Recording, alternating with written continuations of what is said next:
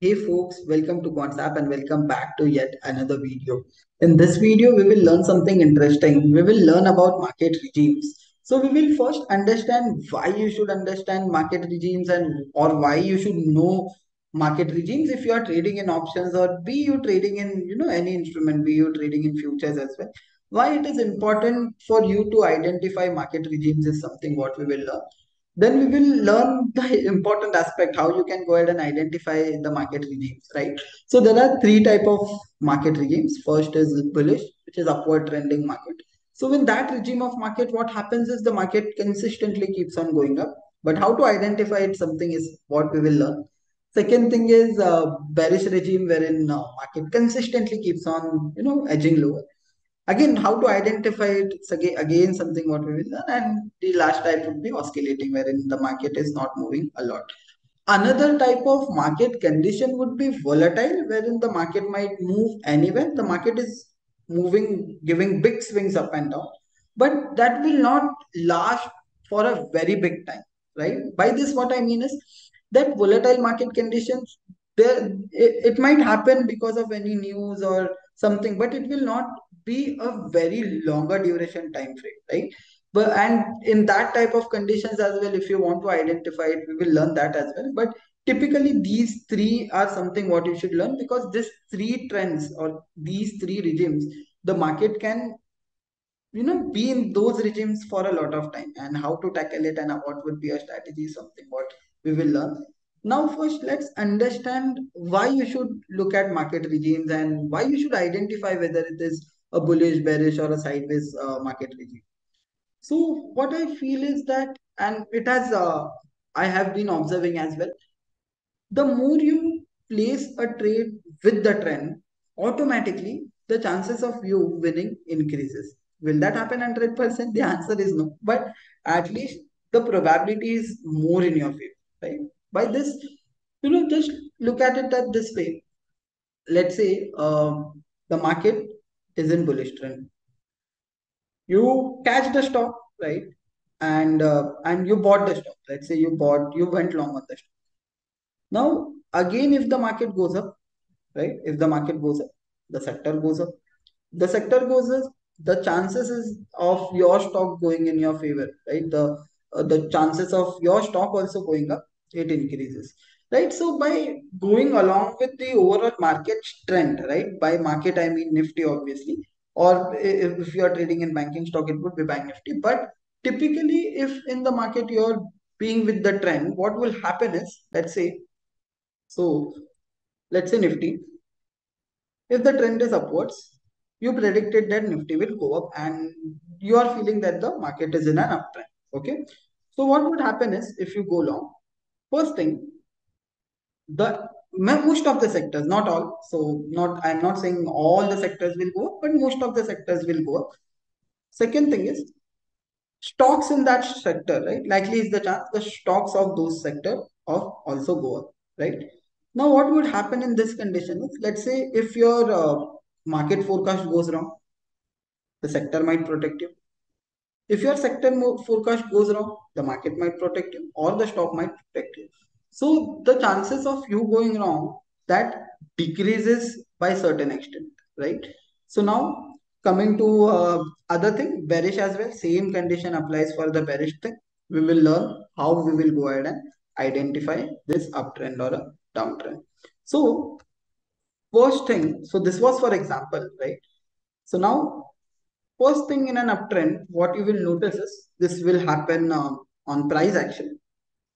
So if you go to chart, right, any chart, but you can use Quantsapp's chart as well, right? What will you notice on the chart is that you will see that the market is making higher highs, right? The market will keep on making higher highs. The highs of the market, they will be higher, right? And the lows of the markets will be also higher as compared to the previous lows. What does that mean? Let's say market closed at this level. The high of the market was this, but the low of the market will not be this, below this level, right? Even the low of the market would be high.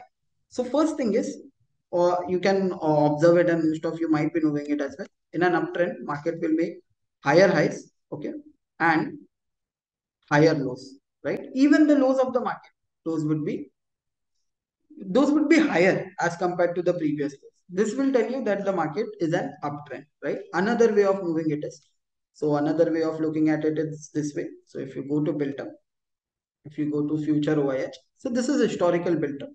Again, we are not looking at uh, for intraday thing, what happened in one specific day. We are not really focused on that, but we are here to identify and regime. So just look at this, right? Just look at this what is happening in this entire journey, you will see that in an upwards trending market, when the market is in bullish regime, what will happen is you will see that a lot of longs are getting accumulated in the system, right? So see from here 16,000 say lekarke. So if you see from 16,300, uh, 350, the long rally started, right? You will see a lot of longs get getting built in the system. That is the first indication right? So let's say in an uptrend, apart from this, what would be uh, another indication is a lot of longs will be accumulated, but there would be long unwindings as well. There will be dips in the market. No, market will not go from point A to point B. There would be dips in the market. Those dips, right, would be because of long unwindings. These long positions, because of them get that those getting unwinded, the market is having a dip, right? It is not a dip due to a fresh short. Now, when this entire trend will change, this entire trend will change wherein we will see a lot of shorts getting accumulated in the system. See, this is where the shorts built up happen. This is where the short built ups happen, right? And suddenly, if you just notice, just notice from this day, right, which is from 13th of September till this day, 29th of September, for 15 days at least, market witnessed no long built up. That is an indication that that is, you know, the market, whereas it is a bearish market. Similarly, just look at this no short get no long getting accumulated in this entire journey right? One or one or two there it would be always there right? But net net what you need to do is you need to look at a broader picture what is happening. And the broader picture tells you that a lot of shorts are getting accumulated right? So even if i just show you bank nifty as well because it is one of the most textbook examples which happened uh, recently. So just look at bank nifty right? What happened in bank nifty from 4th of november consistently up moving bank nifty were two three shorts in so many days right? First short came on 4th of january right? So huge rally in bank nifty. If i just show you much more textbook example so just check this thing out. Just check this thing out right? Long long unwinding long long unwinding long long unwinding. So bullish regime you will see higher highs and higher lows long and long unwinding so if you see both of these things, that is an indication that, okay, we might see an up move happening in the Nifty front, right? Second thing is downtrend, completely opposite of it. What would be uh, this? It would be lower highs and lower lows. Okay, simple, nothing complex in that. And over here, what you will see is, you will see short. There would be shorts getting accumulated in the system, right? If you just look at this, there are few shorts getting accumulated in the system. Bank Nifty will move up, that is okay, but those up moves are due to short covering, right? This will be due to short coverings. And this will tell you that okay, the down there is an uptrend in the market and there is a downtrend in the market. Now coming to one more analytic, what you can add on top of it is you can look at the options open interest data. Okay. So in options open interest data, what you would uh, typically see is uh, you will see a lot of call writing happening in a bearish trend and you will see a lot of put writing happening in a bullish trend. Yeah, you can use a put call ratio as well for that. But for simplicity, just look at this chart. Okay, look at this chart. Does it tell you that huge call writings are happening on the upside? If the answer comes out to be yes, that means the market will struggle to move up, right? So another indicator what you can add on top of it is huge put writing around ATM. Okay. Do you see a lot of puts getting sold around ATM? Do you see those huge, huge put bars getting formed around at the money? If the answer comes out to be yes, then you know that is an indication that market has a stronger support. It is an bullish market regime. Over here, huge. By the word huge, what I mean is not these small, small bars that you are seeing. Huge, huge put writings, right? Huge, huge put writings and call writings huge call writing, specifically around the ATM strike. Okay? So this is what you can consider. Yeah, PCR and all those things you can use it. But looking at this chart, it will tell you most of the things, right? It will uh, answer most of your questions, even if you don't look at PCR. Obviously, you can. But if you just look at this chart as well, you will clearly get a hang of it. Right? So in Nifty, see what has happened. So in Nifty, huge call getting added, right? Huge call writing on this particular strike price, 18,000 strike price. This is where your resistance is, right? Till market does not break above this level. And we saw a lot of shorts getting accumulated on Nifty front as well, right? So this is how it would be. Now coming to oscillate. Okay. For oscillation, you need to find out one simple thing. Okay. One simple thing what you need to find out. Or I would say you need to find out two simple things. So first thing would be uh, the IV. So just look at the IV of Nifty. Okay. First thing is look at the IV of Nifty. Is it around the lower level?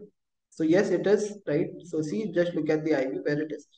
It is 12 point or almost 13.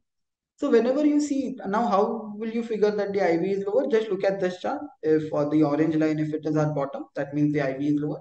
If the IVs are at no, you know, if the orange line is at top, that means the IVs are at top.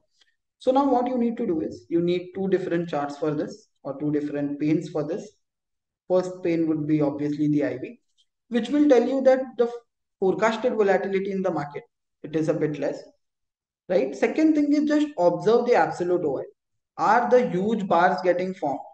If the answer comes that, okay, the huge bars are not getting formed, that tells you. Now, what is this? This is absolute OI. In absolute quantum, how much the shares are getting added or unwinded, right? So if you just focus, right? So let me just show you.